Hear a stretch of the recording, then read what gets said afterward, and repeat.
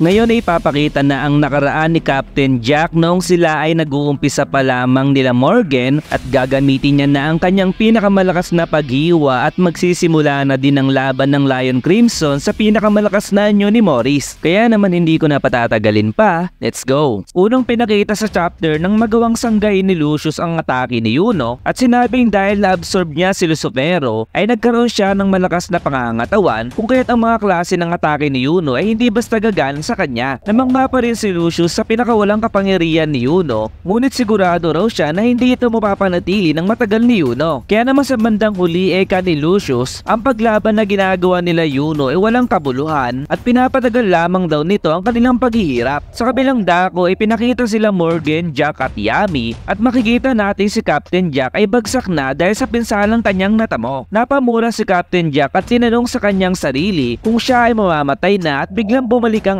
alaala niya kung saan silang dalawa ni Yami ay naglalaban. Tinanong ni Yami si Captain Jack kung ano ang ginagawa nito at sa isip naman ni Captain Jack ay kung seryoso raw si Yami sa ginawa nitong pag-atake ay maaaring napinsala niya ng malala ang isa sa kanyang mga mata. Kaya naman wika sa kanya ni Yami ay mag-isip daw ng mabuti si Captain Jack dahil kahit parehas silang mahilig makipag-away ay isipin daw nito na parehas naman sila na pinaglalaban. Bigla namang dumating si Morgan at sinabing tapos na ang kanilang misyon at kailangan na nilang bumalik sa Clover Kingdom.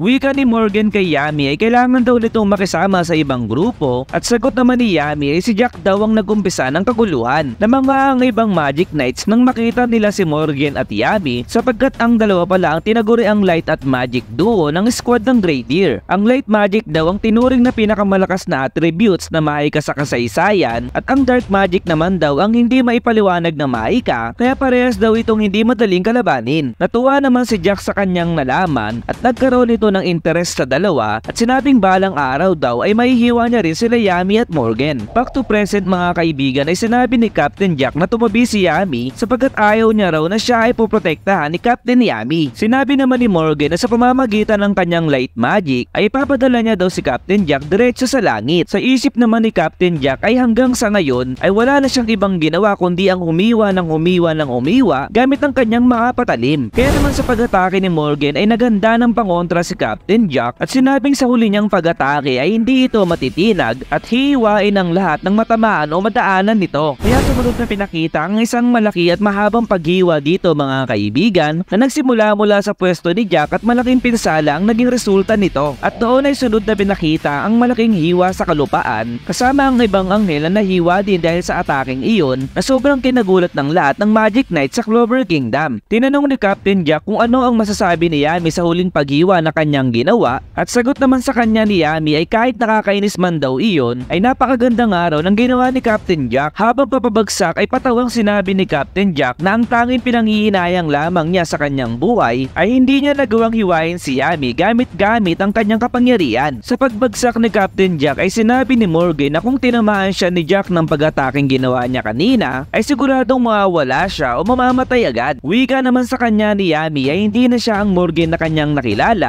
ngunit tugon naman ni Morgan ay masakit man daw sa kanyang puso ay kailangan marami pang mamatay ng mga tao sa Clover Kingdom dahil mabubuhay naman daw silang muli at magiging masaya sa susunod nilang buhay. Sa huling panel ng chapter ay pinakitang sinugod ni Meriolio na si Morris subalit sa kanyang pag-atake ay biglang naputol ang kamay nito na tila ba nabubulok o naaagnas ito. Sa pagsisimula ng chapter ay makikita ang paglalaban nila Morris at Merioliona at nang malapit ng mahawakan ng mga galamay si Merioliona ay bigla ito nagpalit ng kanyang anyo gaya ng ginawa niya noong kinalaban niya ang isa sa mga ancient demon. Pinalitan ni Merioliona ang kanyang nawalang kaluwang kamay ng isang apoy na kamay gaya na lamang din ang ginawa ni Captain Pogilio noong naputol ang kamay nito. Wika ni Morris ay sadyang interesting daw talaga itong si Merioliona sapagkat hindi pa raw siya nakakakita ng isang tao na ang katawan ay maikukumpara mong malapit sa itsura ng isang mana. Binigyan daw ni Lucius si Morris ng isang kapangyarihang tinatawag na operation na may kakayaang ma-decompose ang lahat ng kanyang mahawakan na maaari mo ding ikumpara sa kapangyarihan ni Shigaraki sa Hero Academia. Kahit daw ang magic na bumabalot sa katawan ni Merioliona ay kaya ding bulukin ni Morris dahil kahit nagagawa daw ni Merioliona na i-cancel ang mga tentacles ni Morris at maibalik agad ang nasisira nitong kamay ay nagtanong ito na gaano daw kaya tatagal ang katawan ni Merioliona sapagat mas mabilis daw ang regeneration ability ng kanyang maika. Wika ng isang Magic Knight ay tanging ang anyo lamang ni Merioliona ang may kakayaang lumaban kay Morris subalit kung magpapatuloy daw ito ay bibigay mamatay ang kanyang katawan. Ngunit sagot naman ni Meriolio na ay wala daw siyang pakialam kung ano man ang mangyari at magpapatuloy lamang daw siya sa kanyang pagsuntok sa kalaban. Pinakita naman si Captain Pugilio na busy din sa pakikipaglaban sa mga Guardian Angel upang protektahan ang mga mamamayan na binabalak na patayin ng kalaban. Makikitang nahihirapan o may mga galos na din si Captain Pugilio sa pakikipaglaban at tanging panonood na lamang ang kayang gawin ng mga taga-Lion Crimsons sapagkat malaki ang diferensya ng kanilang kapangyarihan sa kalaban. Nag-aalala naman si Captain Pugilio sa kanyang kapatid sapagkat makikita nating nagagawa ng masugatan ni Morris ang ibang parte ng katawan ni Merioliona. Sinabi ni Morris na yun na raw ang katapusan ni Merioliona at sa papalapit ng mga tentacles ni Morris ay biglang umarang ang dalawang member ng Lion Crimsons upang protektahan si Merioliona. Habang naagnas ang dalawa ay pangiting sabi nila sa kanilang kapitan na iiwan na nila ang lahat kay Merioliona at doon ay sobrang nagalit ang babaeng Leon sapagkat nakikita niyang unti-unting nawawala ang dalawa sa kanyang mga kasamahan. Tuwang-tuwa naman si Morris sa ginawang pagsasakripisyo ng dalawa at doon ay humiyo ng malakas si Merioliona sa iba pang member ng Lion Crimsons sapagkat nagbabalak din ang mga ito na isakripisyo ang kanilang buhay. Sa pagsugod ng iba pang member ng Lion Crimsons upang protektahan ng babaeng Leon, ay kapalit ang galak sa mukha ni Morris dahil kahit ilang buhay para ang itapon ng mga ito, ay walang kwenta naman ang kanilang ginagawa. Makikita natin sa isang nawawala ang member ng Lion Crimsons at ang masakit dito mga kaibigan ay nangyayari ito mismo sa harapan ng babaeng Leon. Sa isip naman ni Captain Pugilio na hindi kaya ni Morris ang walang hanggang pagpapagaling at pagwasak sapagat meron din naman itong limitasyon ngunit napapatanong ito kung bakit pinapatuloy pa rin ng kanyang kapatid ang paglalagay nito sa panganib sa sarili nitong buhay. Masayang sabi ni Morris na wag daw mag-alala ang lahat sapagat sila daw ay nasa mabuting kamay dahil kahit gaano kahina at katanga ang ating mga bida ay bubuhayin daw silang muli ni Lucius na may pagkapantay-pantay kapag sila ay nabuhay muli. Patuloy namang sumugod ng babaeng Leon kay Morris at sinabing tumahimik daw ang kanyang kalaban dahil ang grupo daw ng Lion Crimsons ay hindi hindi raw susuko sa katulad ni Lucius. Sa isip naman ng babaeng Leon ay kapag mas matagal niyang ginagamit ang Hellfire Incarnate ay mas lalo itong umiinit at doon nga mga kaibigan ay nagkaroon na naman ng panibagong mahika ang babaeng Leon na tinatawag na Calidus Branchum Purgatory Cremation.